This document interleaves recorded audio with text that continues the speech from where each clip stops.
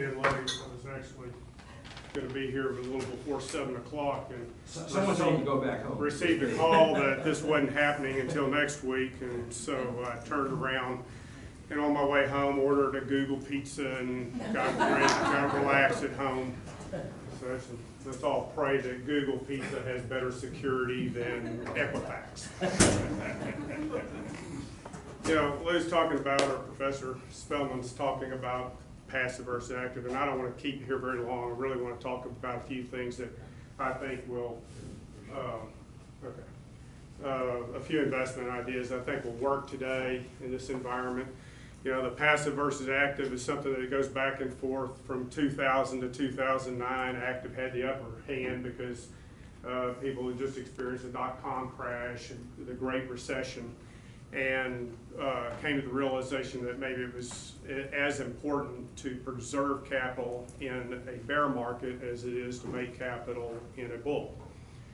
Um, It's really the, the indiscriminate funneling of money into various uh, companies through passive management that I think is actually giving us, it causes a misallocation of capital and it's given us a good opportunity, and I think it's an opportunity right now that the time is, is probably right for you to uh, consider these types of things in your own portfolio.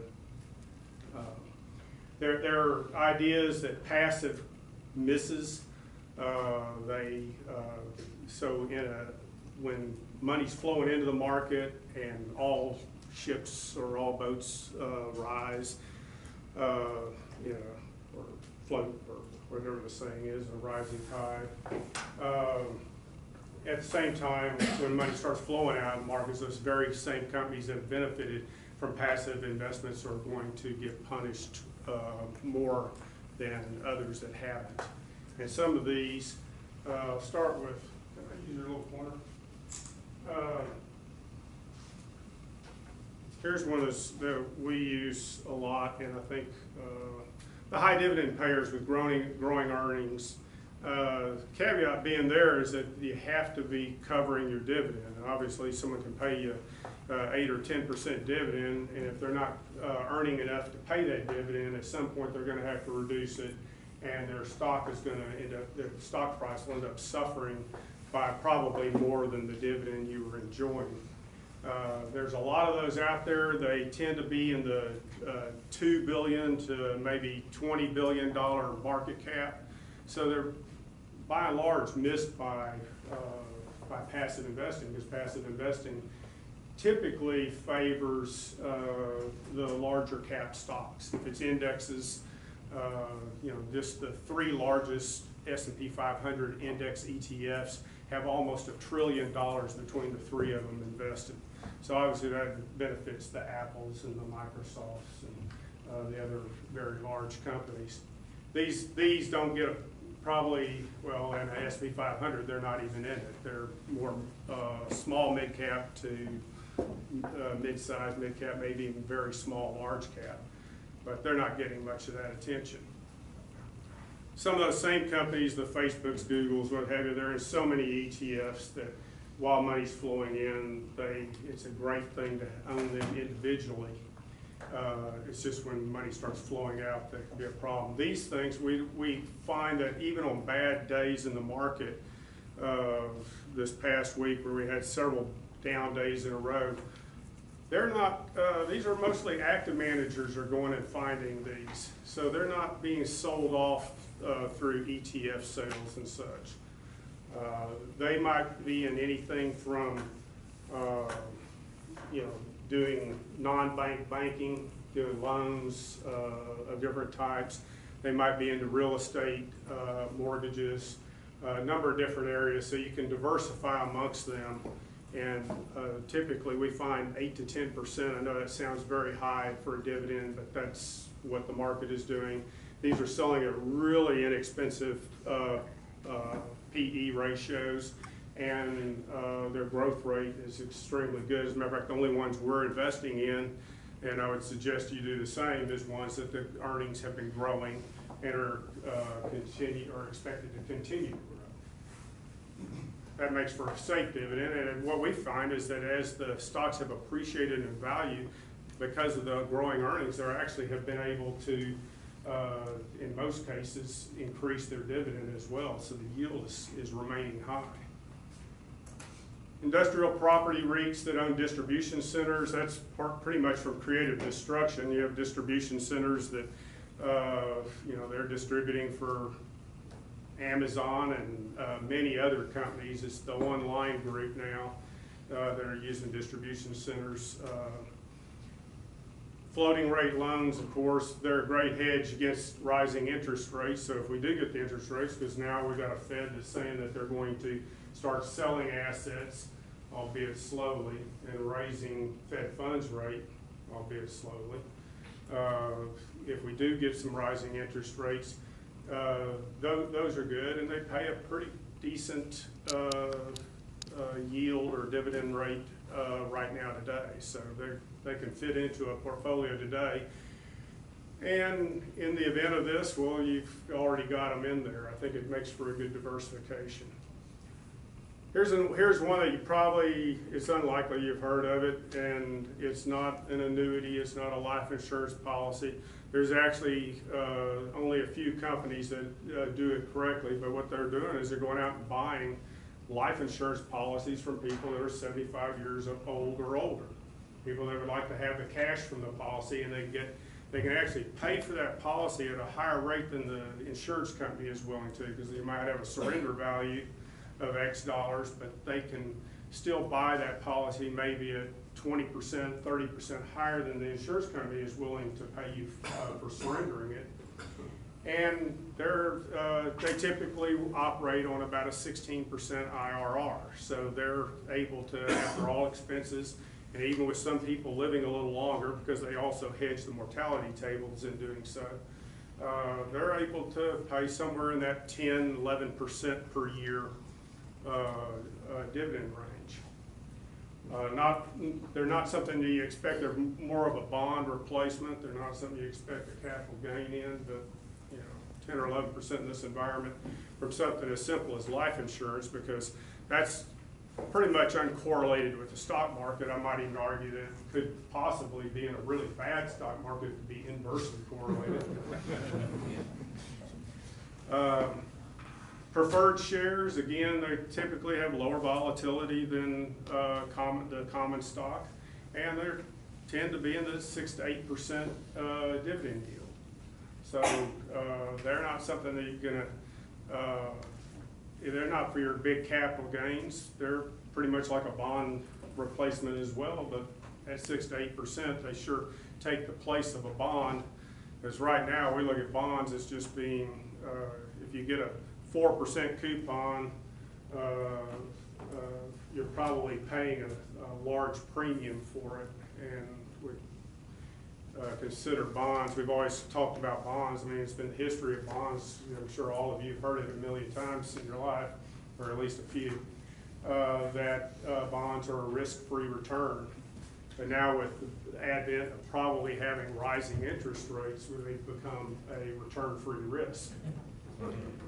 And uh, so this is a good way, preferred shares, uh, you know, there's a few things you want to look at in there. You want to uh, make sure that they're not something that's able to be called away from you, because if they're selling a little bit over par, you still can see what the, the yield to maturity or yield to call is.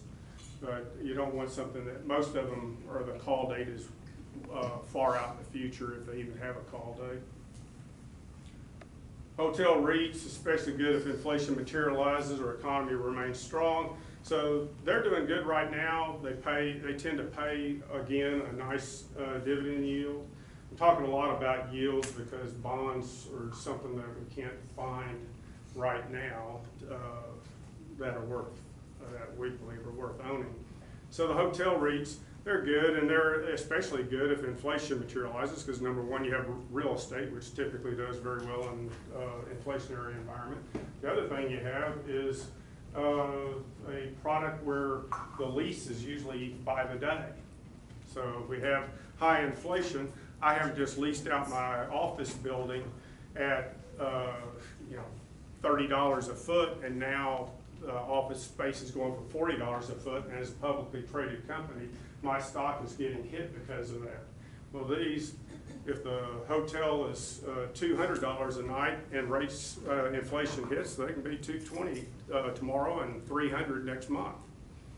Uh, So it's nice having that kind of pricing power.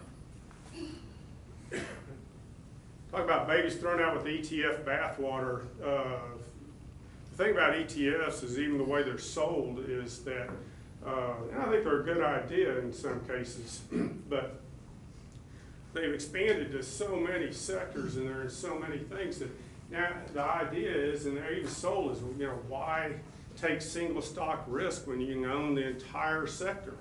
Well, if you're looking at banks, for instance, you know, there's a time, and, uh, excuse me, uh, anyone that works with Wells Fargo, because this is not an all-the-time thing, but, you know, Wells Fargo hadn't been something that I wanted to own in the last several months. They've been under a lot of fire and remain that way. It's kind of like owning Equifax today. you know. Uh, I would prefer my ETF if I could uh, have my perfect ETF, but it certainly wouldn't have those two in the financials uh, ETF right now. And you could always come up with examples. Why own the worst twenty percent? But on the flip side is, is that when something goes out of favor, I'll give you a good example, is uh, oil in July of fourteen was hundred and forty dollars a barrel. Some twenty months later, it was twenty-six dollars a barrel. During that time, the, all the oil ETFs, which there's a number of them, uh, XLE is a big one, and there's a bunch of others. But they're all selling, selling, selling, selling, selling, selling, selling. So all the companies in those ETFs were going down in price. Well, a lot of them, it made sense. If you're an oil exploration company and oil's dropping from 140 to 26, you would certainly expect your share price to drop with it because your earnings are dropping. But look on the flip side is there were also pipelines and especially uh, natural gas pipelines, because natural gas, when it goes from fourteen dollars to three dollars, we use a lot more of it. Keep our houses warmer in the winter, we, uh, you know, the whole thing. Of course, you're gonna use more at three dollars. So the pipelines, they're a taxi cab, their, their earnings were growing, and what we found is you literally had share prices, because they were part of the ETFs, going down this direction on the graph, earnings going like this, they were paying nine and ten percent dividends, and uh, about the time oil got down to twenty-six dollars a barrel, and you could see that global supply and global demand had reversed, and now supply was no longer larger than demand. You had to figure at that point, like every commodity, it's all global supply and global demand, which direction that commodity is gonna go. So it started to go, of course, it would start to rise again, and especially in the case of a natural gas pipeline, because what else was happening in February, March of 2016 was that we were starting to uh, export natural gas for the first time. So we had uh, even another reason to be bullish on those. But anytime you see earnings growing like this, you would expect stock price to be kind of padding along with it. So we look for uh, ETF or the babies that are thrown out with the bathwater, just like that. It's something that you can find as well. I'm not trying to just throw up things that, you know, I've got the magic database and you can't have it, uh, or out, or you can't have it without going through me. That's not it. I'm trying to give you the ideas. This is all things that, you know, A little research you can find just as well. Um, foreign debt when, when the corresponding currency is growing in favor. I'll give you something that I expect will happen here that you can watch out for. It's kind of easy to watch this one. Because uh, if you don't notice it because of the commodities growing, it happened back when China was building uh, 100 airports a month. You know, they were building airports like, I mean, I mean, it was like, uh, it was incredible. They're, but they were building airports, they were building roads, they were building everything. Of course, they were using commodities from all over. The Canadian dollar rose, the Australian Aussie rose against the US dollar, uh, Brazilian real, all the commodity countries, uh, their currencies start to rise. If you don't notice that that's happening, I think it's going to happen again because China's pretty serious about the Silk Road and building the ports and roads and everything that goes with it uh, to connect China with Europe. So this Chinese Silk Road is actually started, they're starting to uh, gain some traction and they've got involving a lot of countries, but China is strongly behind it. And I think we could have another commodity boom like we did before. So you'll either see the commodities rising and, and the uh, demand growing. Another way you can see it is you can watch the currencies of commodity countries.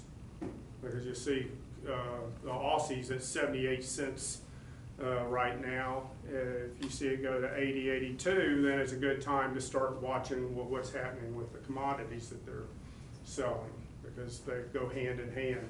Foreign debt is a great thing in that environment because uh, give you a little, ins- I mean, something to look for. Back when China was uh, really growing before and using uh, all commodities in the world, General Electric had a bond here that was paying, I believe it was like three and a half percent. And they had the same term bond in Australia, denominated in Aussies, paying either seven or seven and a half.